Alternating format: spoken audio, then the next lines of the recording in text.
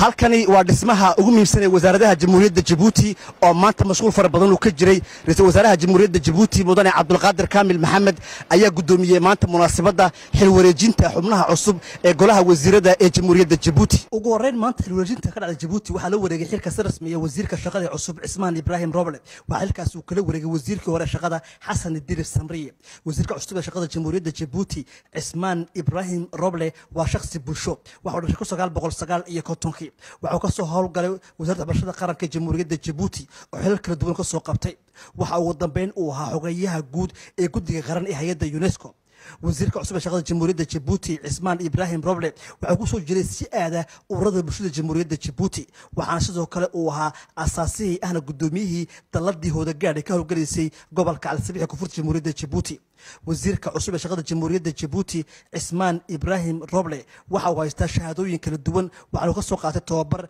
dugsiga sare ee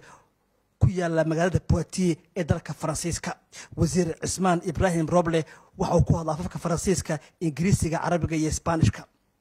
Intaasi kadib waxaa loo wareejiyey xilka maanta wasaaradda miisaaniyadda jamhuuriyadda jabuuti waxaa loo wareejiyey xilkaasi wasiirka cusub miisaaniyadda jamhuuriyadda jabuuti cabdilkariim aadan sheer waxaa xilkaasi uu kala wareegay wasiirkii miisaaniyadda hore mudane boode axmed roble. Wasiirka cusub miisaaniyadda jamhuuriyadda jabuuti cabdilkariim aadan sheer waxa uu yahay mas'uul ku soo jiray waxyaha kala duwan ee dalka jamhuuriyadda jabuuti waxaana uu soo ahaa ugu dambeyn xogayaha qaran ee guddiga qiimeynta horumarka ee jamhuuriyadda jabuuti ee loo yaqaano maceeb isla maanta waxaa loo wareejiyey xilka wasiirka arrimaha gudaha ee cusub. Waxaa xilkaasi lagu wareejiyey wasiirka arrimaha gudaha cusub mudane muumin axmed sheekh waxaana uu kala wareegay wasiirkii hore ee xilkaasi sii hayey xasan cumar maxamed. Wasiirka difaaca jamhuuriyadda jabuuti ayaa waxaa maanta loo wareejiyey xilka si rasmiya xasan cumar maxamed oo hore u ahaa wasiirkii arrimaha gudaha jamhuuriyadda jabuuti xilkaasna waxuu kala wareegay maanta wasiirka hore ee gaashaandhigga jamhuuriyadda jabuuti cali xasan bahdoon cali xasan bahdoon oo hore u ahaa wasiirka gaashaandhigga jamhuuriyadda jabuuti ayaa hadda waxaa loo dhiibay xilka wasaaradda garsoorka jamhuuriyadda jabuuti qaabilsan xuquuqalaysaanka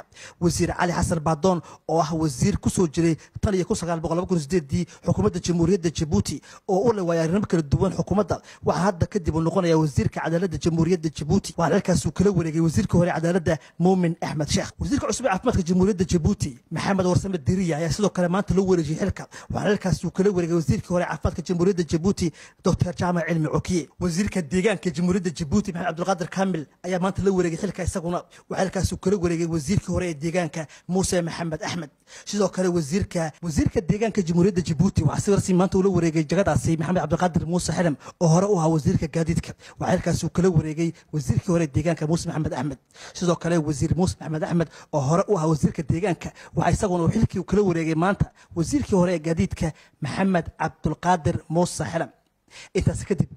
jamhuuriyadda jabuuti cabdulqaadir kaamil maxamed waxa uu tegey wasaaradda warfaafinta jamhuuriyadda jabuuti halkaasoo xilka wasaaradda warfaafinta jamhuuriyadda jabuuti uu si rasmi maanta ula wareegay wasiirka cusub ee wasaaraddaasi radwaan cabdilaahi baadoon waxaana xilkaasuu kala wareegay wasiirkii hore ee warfaafinta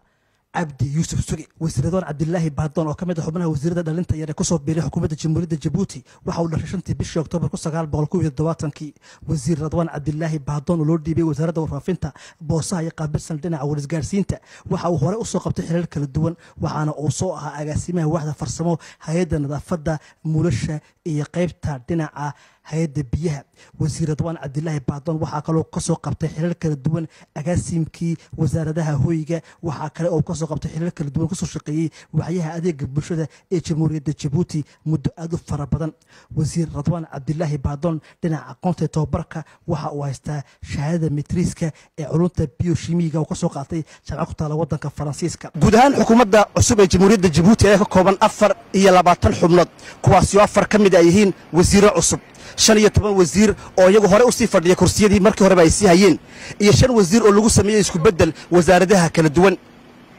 Xuseen cumar iyo sawirqaade maxamed daahir wararka horna kebel t v